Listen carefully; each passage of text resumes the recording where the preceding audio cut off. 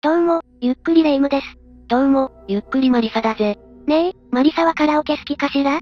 カラオケはストレス発散になるし、好きだぜ。いつも誰とカラオケに行くの？大体友達と行くな。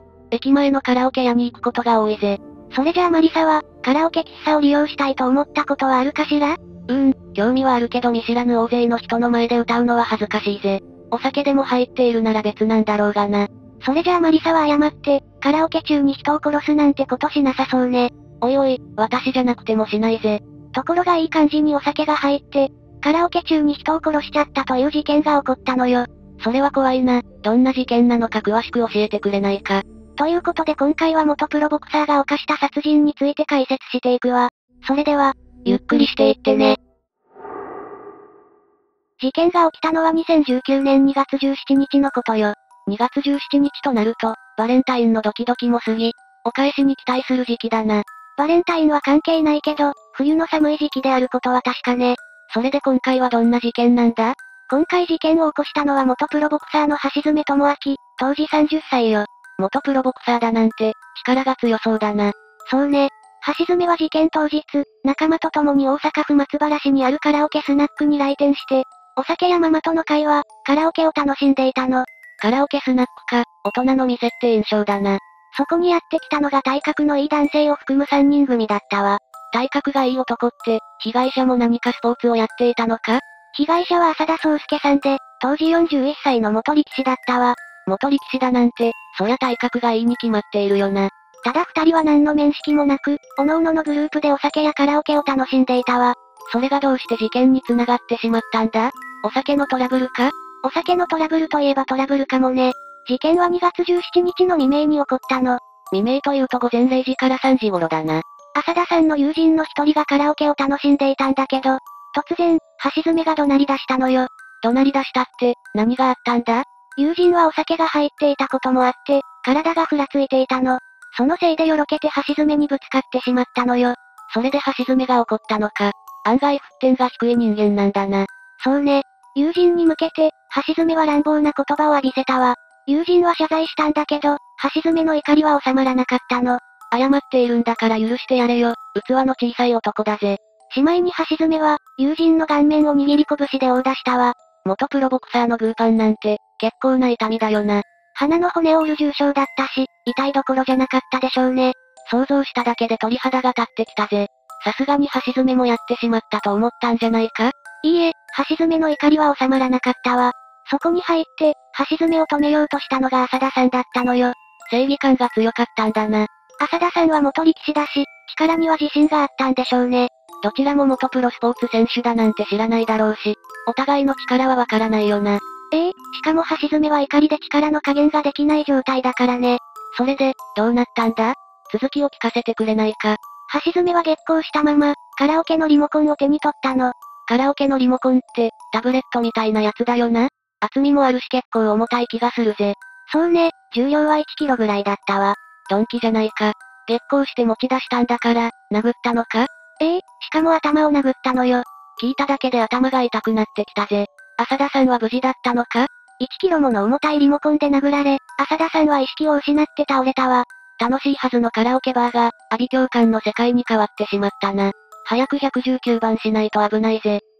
ええカラオケバーの店員がすぐに119番通報して、浅田さんは病院に緊急搬送されたわ。浅田さんは助かったのか？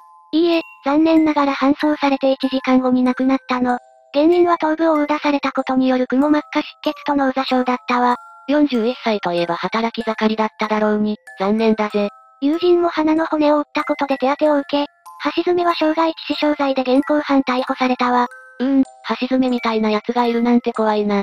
松原市って治安はどうなんだ？大阪府松原市は治安がいい方よ。閑静な住宅街が多いから、夜は静かなの。ファミリー層も多そうだぜ。電車が一路線だけと交通の便は悪いけど、生活に必要なお店は揃っているわ。そんな平和な街で起こった事件だし、住人にとっても怖かったよな。橋爪がすぐに逮捕されてよかったぜ。ところで橋爪は元プロボクサーだそうだが、どんなボクサーだったんだ？じゃあ、橋爪について話していくわね。橋爪は1988年9月28日、大阪府に生まれたわ。大阪はボクサーが多いイメージだな。橋爪はその中でも、将来を期待されるボクサーだったのよ。それはすごいぜ。さぞかし強かったんだろうな。最終戦績は19戦14勝 7KO 3敗に分け出し、実力は確かね。ボクサーとしての強みは何だったんだ？ジャブとコンビネーションの上手さに定評があったわ。それにスピードもすごかったの。本当に期待のボクサーだぜ。所属事務所はどこだったんだ？井岡事務よ。井岡弘樹会長も橋爪には期待していて、日本タイトルはもちろん、世界ランクに入ることもできるって話していたそうよ。井岡事務というと日本では有名なボクシングジムだよな。会長自身が元世界チャンピオンだし、老いの井岡和人も有名な選手だしね。現世界チャンピオンを輩出している名門だぜ。そんなところで期待されるなんて、相当な実力だったんだな。ちなみに亀田三兄弟とも練習したことがあるわ。次男の亀田大輝は同年代ということもあって、ライバルだったのよ。へえ、実力が拮抗していたってことか。しかし、橋爪はどんなきっかけでボクシングを始めたんだ？橋爪は中学校時代、素行が悪かったんだけど、ボクシングにだけは没頭できたそうなのよ。なるほど、そういう経緯があったのか。ボクシングが橋爪を救ってくれたんだな。ええそしてめきめきと実力をつけた橋爪は、バンタム級で、2005年12月4日にデビューすると、2006年は6戦5勝1敗の成績を残したわ。バンタム級というと55.34キロ以下か。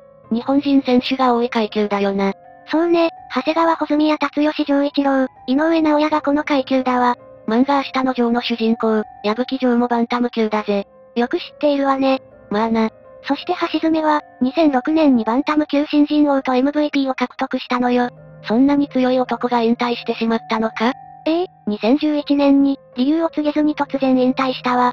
最後の試合は2011年7月17日で、TKO 勝ちだったそうね。まだ活躍できただろうに、本当に突然の引退だったんだな。引退後は裏方に回ったのか？いいえ、引退後はヨカジムも辞めて、ボクシング界から姿を消したわ。その後は運送用の職に就いたのよ。地元で働いていたんだな。ボクサーとして体制できそうだったのにもったいないと思ったが、安定した職業で働くのも一つの道だよな。そんな男がどうして事件を起こしてしまったのか、謎は深まるばかりだぜ。2011年に突然引退した橋爪だけど、酒癖の悪さでも有名だったのよ。お酒を飲むと暴れるのか。そうね、ちょっとしたことで殴りかかることもあったわ。そして2016年にわいせつ罪で逮捕されて服役しているの。おいおい、前科持ちだったのか。真面目そうな印象が吹き飛んだぜ。そして2017年に出所した橋爪だけど、SNS で復活を誓っていたわ。復活って、どういうことだ？あくまで橋爪のものとされる SNS なんだけど、内容は今までの自分の行いを反省するものだったわ。反省って、具体的な内容を教えてくれないか？まず書かれていたのは決意表明ね。2017年は人生再スタートの年としていたの。出所して新しい自分に生まれ変わろうとしたんだな。そしてこれまでの行いを反省したわ。今まで自分はたくさんの人の気持ちを踏みにじって傷つけてきたってね。ボクシングの引退理由とも関係ありそうだぜ。でもそんな自分をみんな笑顔で受け入れてくれたって続けたの。そうすると自分がいかに寂しい人間なのか分かった、とのことね。乱暴していたが、本当は寂しがり屋だったのか。続いて、自分自身の人生をダメにしてきたのは自分自身。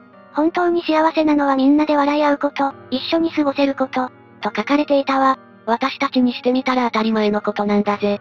でも、橋爪はそんなことも忘れていたのね。自分さえ良ければいいと、たくさんの人を傷つけてしまっていたんだわ。それが橋爪の反省なんだな。橋爪は2016年の自分を反省したわ。過去をなかったことにできればいいけどそれもできないとも悟ったのよ。時間は戻らないんだぜ。だからこれまで傷つけた人や裏切った人に報いたいと思ったそうなのね。自分には夢はないし、人生の先もわからないけど、希望はあったの。希望ってなんだ？人を助けることができる人間になることよ。どう変わるかは自分の気持ち次第ってことだな。人前を堂々と歩くことができる、話すことができるような人間になりたかったそうね。反省文を聞いていると、人間として当たり前のことが書かれているよな。そうね、でも当たり前のことがわからずに苦悩する人は多いわ。橋爪はそんな苦悩を抱える人間の一人だったわけだな。まあ、そういう事情があっても人を傷つけていい理由にはならないが。その通りね。しかし、どうしてこの決意表明から一転してしまったんだ。それに、被害者になってしまった浅田さんのことも知りたいぜ。それじゃあ次は被害者の浅田宗介さんについて見ていくわ。浅田さんは元力士だったんだよな。ということは、体もかなり大きかったんじゃないか？ええ身長185センチで、体重は135キロあったわ。身長185センチって結構な背の高さだな。みんながよく知る芸能人だと、竹内涼真さんや要潤さんが同じ身長ね。いずれもイケメンだぜ。ちなみに体重135キロって、他の力士から見てどうなんだ？幕の内力士の平均体重は161キロだから、軽い方ね。そうなのか、今の力士ってそんなに体重があるんだな。重たい人は200キロを超えるわ。だから浅田さんの体重は本当に軽いと言えるわね。となると、浅田さんの現役時代の成績は微妙だったのか？そんなことないわよ。浅田さんの現役時代の成績は133勝119敗28球だったわ。体重が軽いのに勝ち越しているなんて、優秀だったんだな。力士時代のことは分かったが、浅田さん自身はどんな人だったんだ？浅田さんは1978年2月16日に大阪府松原市で生まれたの。実家はスーパーを経営していたわ。事件の前日が誕生日じゃないか。ということはカラオケバーに行ったのは誕生日祝いだったのかもな。そうね、誕生日を祝ってくれる友人がいるほど慕われていたんだわ。それから浅田さんのしこ名は杉の山で、高田川部屋所属よ。高田川部屋って誰が所属しているんだ？幕の内は湘南の海関と雄伝関が所属しているわね。他にも輝き関や秋の山関といった有名な力士がいるわよ。湘南の海関は私も見たことがあるぜ。ところで、相撲に打ち込むようになったきっかけは何だったんだ？相撲に興味を持つきっかけって、あんまり想像できないんだが。実は浅田さんは中学校時代、柔道で活躍していたの。そこでも結構な成績を残していたのよ。その実績を買われて、相撲界にスカウトされたんだな。その通りよ。初土俵は1993年3月だったわ。三段目で優勝するなど実績を積み重ねて、地元では期待の星と言われていたのよ。最終的にはどこまで進んだんだ？最高位は西幕下20枚目ね。性格が優しかったことと、怪我が原因で1999年11月に引退してしまったの。優しい性格は勝負の世界では時に命取りになるしな。浅田さんは引退後、応援してくれた地元に恩返しをするために、地元で働いていたわ。経歴を聞くだけで優しさが伝わってくるな。あんな事件に巻き込まれるなんて、誰も思ってなかっただろうぜ。それじゃあここからは、逮捕後の橋爪について見ていくわよ。橋爪は現行犯逮捕されたんだよな。ええその通りよ。通報を受けた警察に取り押さえられたわ。酔いが覚めてから取り調べを受けただろうが、ちゃんと罪を認めたのか？最初は酔っていたから覚えていないと、罪を否認したわ。なんだって、それは卑怯じゃないか。お酒に任せて犯罪を犯す人って、大体みんな、酔っていたから覚えていない。っていうのよね。まったくだぜ。だが橋爪は現行犯だし、目撃者も多いし、その言い訳は通用しないよな。その通りで、そのまま起訴されたわ。当然の報いだぜ。それで裁判はどうなったんだ？弁護側は浅田さんが先に橋爪に頭突きをしてきたと主張したの。だから橋爪の行為は正当防衛だと話したのよ。目撃者がいるんだから、そんな話は通用しないだろう。そうなのよ。しかも現行犯逮捕だから、警察も逮捕時に橋爪の状態は確認しているわ。橋爪が無傷であれば、浅田さんが攻撃したという主張は認められないぜ。裁判長もそこを指摘して、弁護側の主張を退けたの。さらに、犯行に使われたリモコンは凶器としてしっかり認められたわ。リモコンとはいえ、重量1キロの硬い物体だからな。ドンキと何ら変わりないぜ。いくら橋爪が元ボクサーだからといって、元力士で体格差のある浅田さんに致命傷を与えた武器だからね。まったくだ。聞いているだけで恐ろしい状況だったぜ。結局、橋爪の行為は悪質と認められたわ。そして2019年12月19日休刑8年に対し、懲役7年の実刑判決が下ったのよ。2019年ということはまだ服役中なんだな。橋爪は構想していないからそういうことになるわね。ということは出所は2026年になるのか。刑務所ではちゃんと過ごしているんだろうか。刑務所での様子はわからないわ。再犯だから仮釈放も難しいでしょうね。人を殺めてしまったということを、ちゃんと反省してほしいぜ。2016年の SNS への投稿を、次こそは無駄にしないでほしいわね。今回の話はどうだったかしら？聞いているだけで鳥肌が立つし、頭が痛くなる事件だったぜ。お酒は時に人を凶暴にさせてしまうわ。お酒が悪いわけじゃないけど、自制することは大切なのよ。特に酒を飲むと乱暴になると自覚している橋爪のような人間はね。橋爪は自分でお酒のコントロールができなかったんだもんな。お酒を飲んで気持ちよくなってしまったんでしょうね。自分の酒癖を知っておきながら乱暴さを抑えられなかったのは自業自得だわ。2016年の反省が何も活かされてないもんな。もし私がお酒によって誰かを傷つけそうになったら、マリサは止めてくれるかしら？全力で止めるぜ。霊夢を犯罪者にしたくないからな。ありがとう。私もマリサがお酒によって犯罪に手を染めそうになったら、全力で止めるわね。橋爪も止めてくれる友人がいれば、今回のような事件は起こらなかったのかもな。